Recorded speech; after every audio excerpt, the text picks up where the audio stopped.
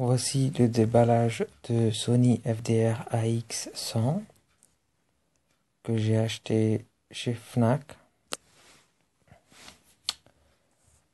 Donc euh, c'est mon deuxième caméscope de même référence puisque le premier que j'avais commandé chez Sony, Store, enfin sur online, a été livré un mois après, donc euh, début mai euh, je l'ai reçu. Euh, donc il n'y a pas de souci, ça se filme bien, donc pas de souci du tout. J'ai utilisé avec un stabilisateur. prochainement, je mettrai en ligne ce que j'avais filmé avec ce premier caméscope. Ceci que j'ai acheté chez Fnac, c'est mon deuxième de même référence, comme je vous ai dit, FDR AX100. Euh, donc le premier, je l'ai retourné car il y avait un souci, soi-disant, euh, sur le caméscope, euh, sur mon écran 4K Samsung, donc UE F 55 pouces, F9000. reconnaissait bien en, 4K, résolution 4K, sauf que l'image elle était toute verte. Donc euh, après consultation et, passé un bout de temps avec le technicien de Samsung, n'a pas pu réussir à résoudre ce problème de l'image verte. Euh, et Sony et Samsung qui, qui, qui prétendait que c'était la faute de Sony, enfin, enfin indirectement. Du coup, j'étais obligé d'appeler Sony qui m'a dit il n'y a pas de souci, on reprend le matériel vu qu'on a 30 jours euh, euh, pour échanger ou remboursement sans frais supplémentaires. Donc, je l'ai retourné. Donc, ceci, c'est mon deuxième. Donc, voilà, euh, en 4K.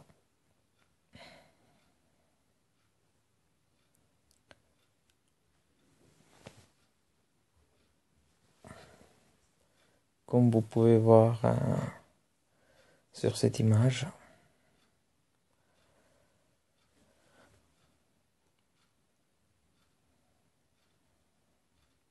Donc euh, je filme avec euh, mon Note 3. Donc correct quoi. Pas de souci.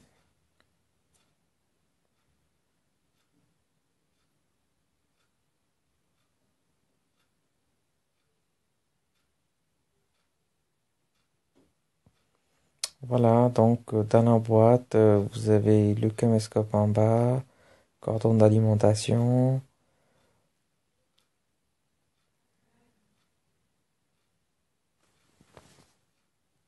la télécommande,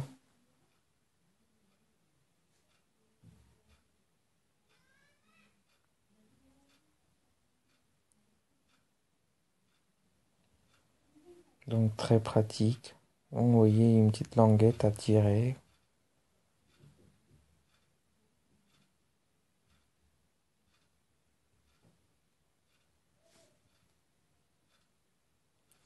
Vous avez un, adaptateur câble USB pour, euh, enfin, ça s'appelle une rallonge plutôt.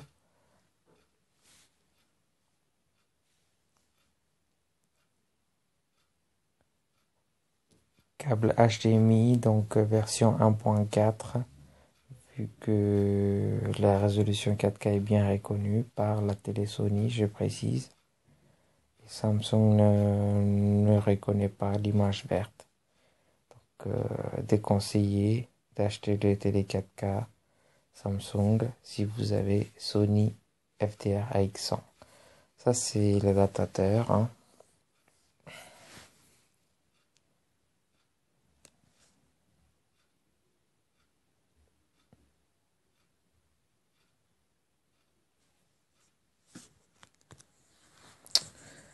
Voilà, ça c'est le, le cache objectif.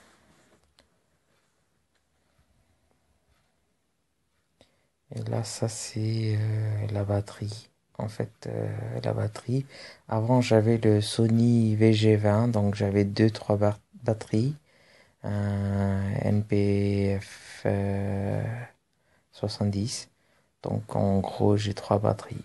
Donc pas de souci, pas de souci à faire.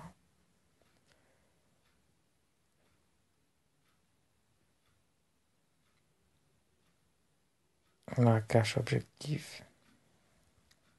Donc en gros, euh, par rapport à Sony VG20, euh, ce Sony FDR-AX euh, est beaucoup plus léger, vu que c'est pas un objectif interchangeable qui est très pratique. Il y a un souci, c'est qu'on ne peut pas transporter facilement, facilement dans le sens avec VG20 vous avez le poignet au-dessus et après, sur VG20, vous avez les, comment, le sabot qui vous permet de mettre euh, le flash ou peu importe en standard.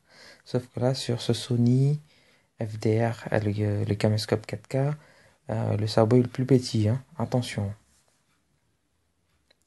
Voilà, voilà, 4K. Par contre, euh, quand vous allez prendre les photos, excellent. Hein. excellent, excellent, excellent. J'ai pris des photos. Quand vous le visionnez sur la télé 4K, ça fonctionne bien, il n'y a pas de souci. Mais en passant par le PC, bien sûr, hein, parce que Samsung ne reconnaît pas. J'étais obligé d'acheter une carte graphique 4K. Donc j'ai pris Nvidia. Là, en ce moment, euh, je passe tout par mon PC pour visionner en 4K sur ma télé. Vu que euh, Sony, enfin pardon, Samsung euh, ne prend pas non plus les fichiers 4K par USB. Voilà ce caméscope. Vous pouvez l'éteindre et allumer juste en basculant, tirant et en basculant. Ça s'allume, c'est comme un interrupteur. Là. Et après, sinon, si vous ouvrez l'écran LCD, ça s'allume également. Donc là, au-dessus, vous avez un petit micro 5.1. Voici euh,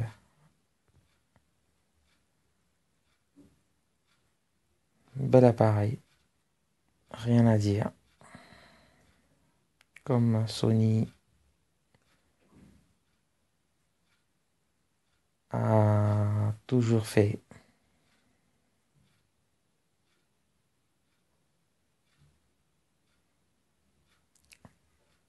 Oui, ça tient. Hein.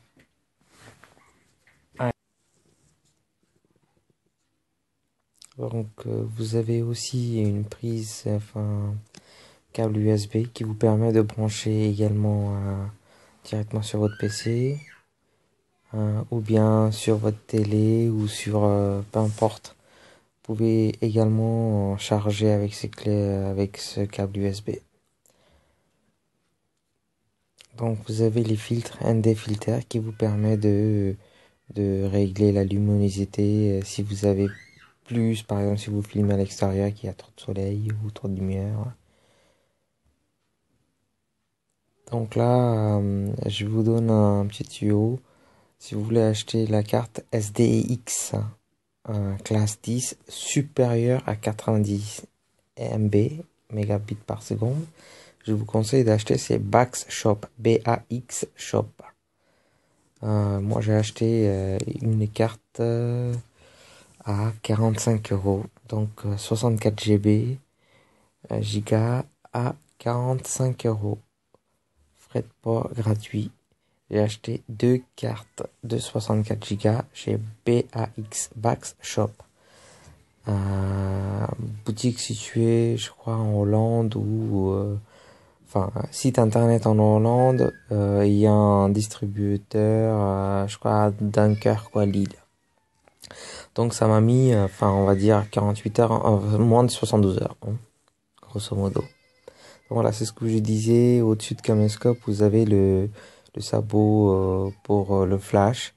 Hein, moi j'utilise un, flash Z96 euh, avec 96 LED et 5 batteries, donc 5 piles normales. Donc du coup ça ne, ça ne rentre pas dedans. Je suis obligé de commander ou acheter chez Fnac un sabot, un adaptateur de sabot mini vers euh, standard. Et euh, sur le micro euh, que vous avez vu, je vais mettre une cache micro qui me permettra aussi de réguler un peu le son, surtout le vent. Voilà, ça c'était euh, un petit déballage avec plus de détails que je vous ai donné. Donc euh, Fnac, euh, vous pouvez acheter chez Fnac. Si vous avez une carte Fnac, vous avez 5%. Sinon, j'avais acheté, j'ai pu négocier pour avoir 10 euros tous les 100 euros d'achat. Donc c'était pas négligeable. Donc euh, j'ai presque 180, 180 euros euh, de bons cadeaux. Plus euh, j'avais les chèques cadeaux également que j'utilisais. Donc en sachant que vous avez deux ans de garantie, hein, standard Sony. Et sur le premier, j'avais trois ans de garantie dans un an à un centime sur les sites internet de Sony. et euh, une remise de 5% également.